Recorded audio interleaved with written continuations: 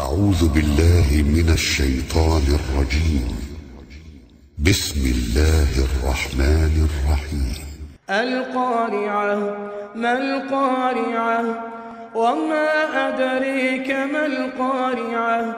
يوم يكون الناس كالفراش المبثوث وتكون الجبال كالعهن